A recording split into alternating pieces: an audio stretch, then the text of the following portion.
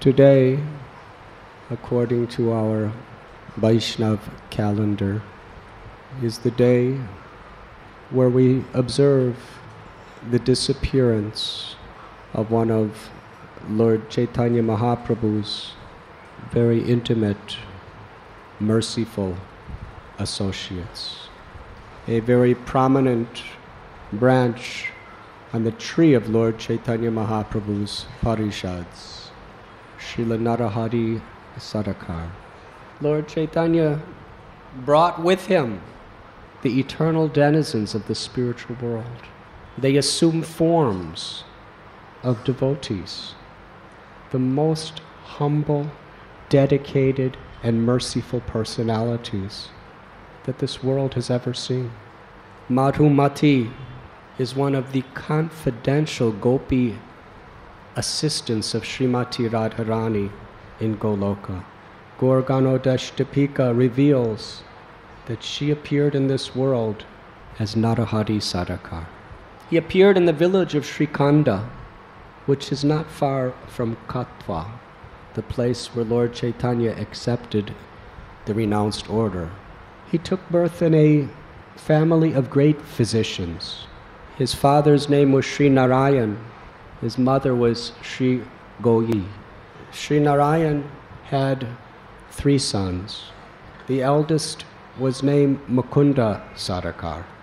And then there was Madhava and Narahari, an amazing family. Mukunda had a son named Raghunandan Thakur. So Mukunda sent his younger brother to Navadvip to study the scriptures.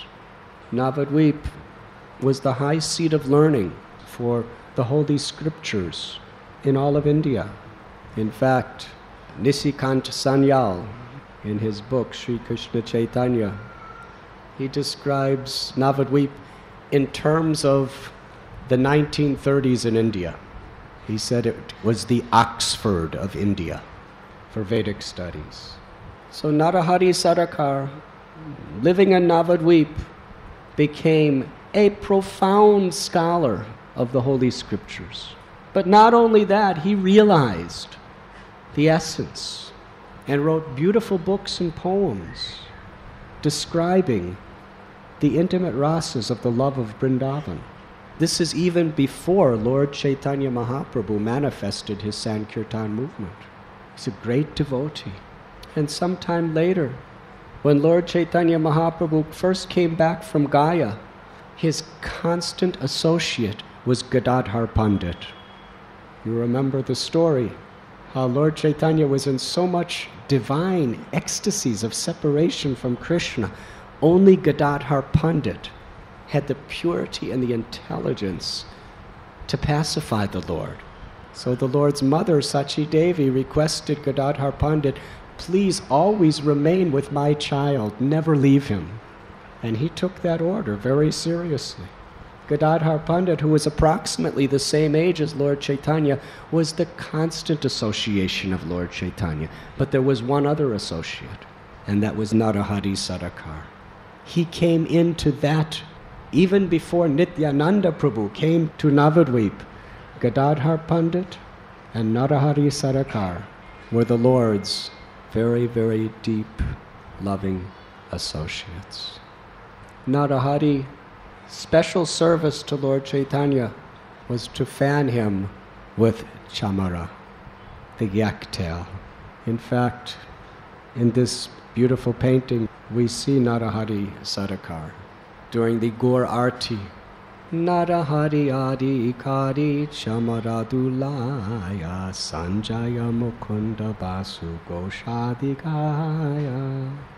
As Sanjay, Mukunda, and Basu Ghosh were singing beautiful kirtan, Narahari would fan Sri Chaitanya Mahaprabhu with the chamara. And he would even glorify Lord Chaitanya sometimes as the Supreme Personality of Godhead, which Lord Chaitanya would not tolerate. Because in this age of Kali, there is a rampant philosophy that you can become God. But Sri Chaitanya Mahaprabhu taught Achintya Bheda Bheda Tattva. We are simultaneously one with God and different from God. In quality, God is Satchidananda Vigraha, and as the infinitesimal part of God, we are also. The spirit soul, Jiva, is Satchidananda Vigraha. But Bhagavan, Parabrahman, is Vibhu. He is supremely great. His energies are all pervading. And the Jivatma is infinitesimal. Only when we understand this conception of our oneness with God and our difference from God is there a possibility for there to be the awakening of prema or pure love within our heart.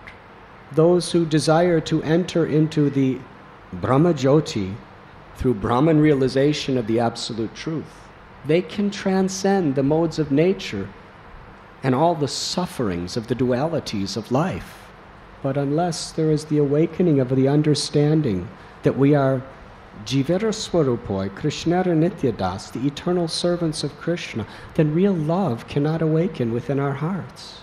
And Lord Chaitanya, his special mission was to give that love to the world.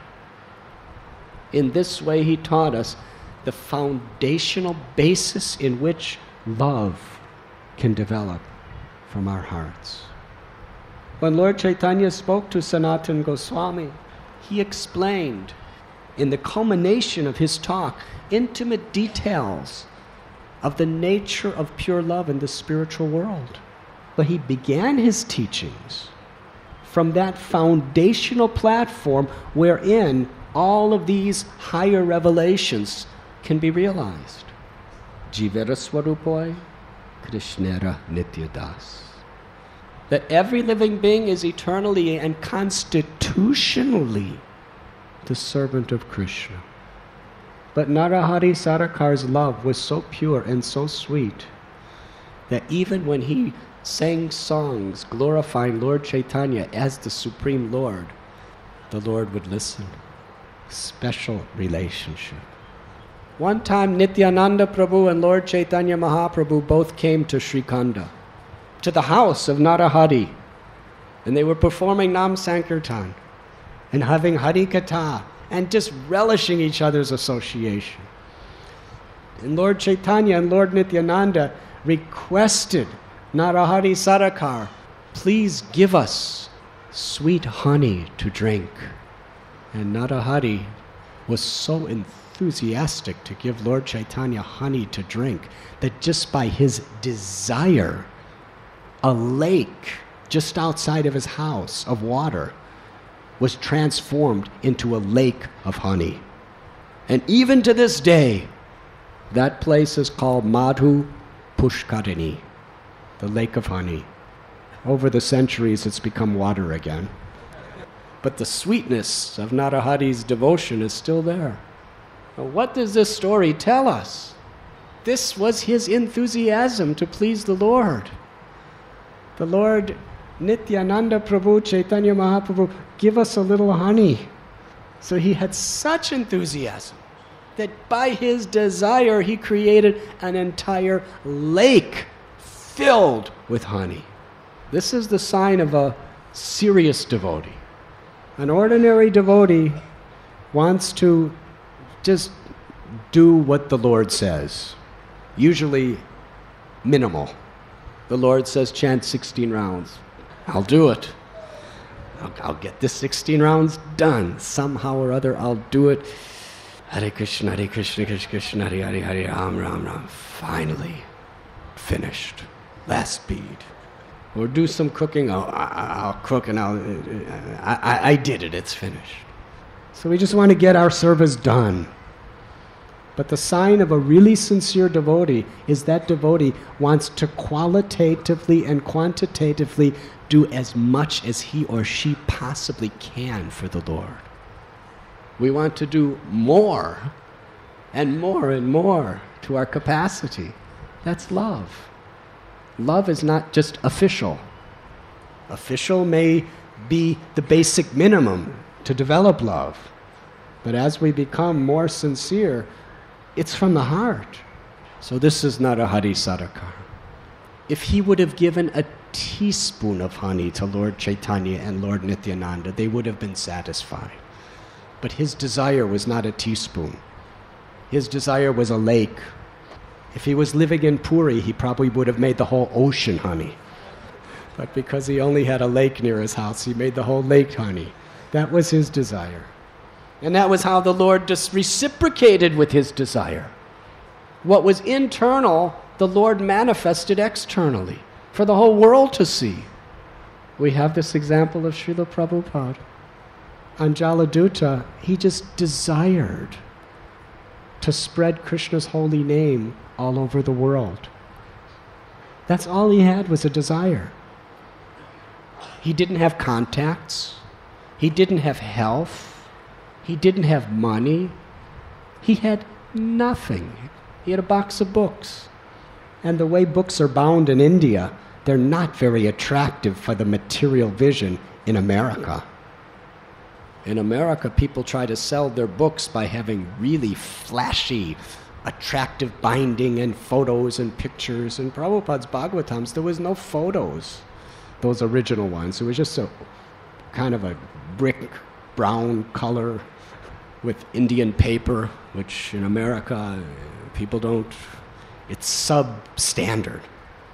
So he just had a box of these books. Of course, they were munificent. They were the ultimate. They were Srimad Bhagavatam. But you have to have spiritual vision.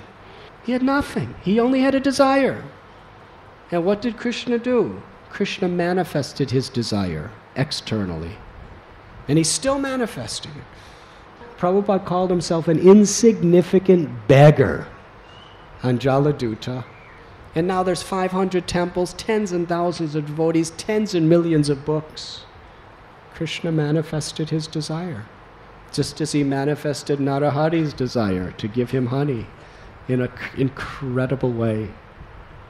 After Sri Chaitanya Mahaprabhu departed from this world, very soon many of the associates of Lord Chaitanya were also departing. In Narahari Sarakar, he was living then in Srikhanda. He was such a merciful, empowered preacher. Who were his disciples? Raghunandan Thakur was his initiated disciple. Lochan Das Thakur was his initiated disciple. We are speaking about that great personality who wrote Sri Chaitanya Mangal, one of the greatest of the biographies of Lord Chaitanya Mahaprabhu, worshipped by the Vaishnavas. He was the obedient servant of Narahari Sarakar when Srinivasacharya was just a young man, just a teenager. He went to Srikhanda and took shelter of Narahari Sarakar. Narahari Sarakar loved him like a father to a son. He embraced him. He wept tears of affection on Srinivasacharya. He in, deeply instructed him in the science of Krishna consciousness and blessed him for great success in his life. Srinivasacharya loved Narahari Sarakar more than his life. He accepted him as his Shiksha Guru, heart and soul. He was initiated by Gopal Bhatta Goswami, but Narahari Sarakar was deeply his Shiksha Guru. Narottam Das Thakur, that great Acharya, he went to Srikhanda and took shelter of Narahari Sarakar received instructions and blessings from him. Narottam Das Thakur accepted him as a prominent Shiksha Guru in his life, as did Shyamananda Prabhu. He was such an attractive person. The greatest saints worshipped him. What to speak of the common people? He was so kind, so loving to everyone. He did not discriminate who was fit and who was unfit. He fully carried the full fledged mercy of Lord Chaitanya and Lord Nityananda in his heart and distributed it profusely. Srinivasacharya was completely detached from everything of this world. He was absorbed in the highest rasas of Krishna Prem. But Narahari Sarakar understood Sri Chaitanya Mahaprabhu's desire for Srinivasacharya, and one time when Srinivasacharya was in Srikhanda with Narahari, Narahari told him, It is Lord Chaitanya's desire, he has revealed through my heart, that you must get married. Now, Srinivasacharya was more of a brahmachari than anyone could ever be a brahmachari. He wasn't just doing tapasya, he was tasting madhurya ras. But Narahari told him, You get married. And because it came from Narahari Sarakar, without the slightest argument, without the slightest question, Srinivasacharya, with Narahari Sarakar's help, was married. This was the stature of this great soul. He was teaching, he was showing so much affection, and he was constantly performing Nam Sankirtan. You were listening to Radhanath Swami on devotionalnectar.com.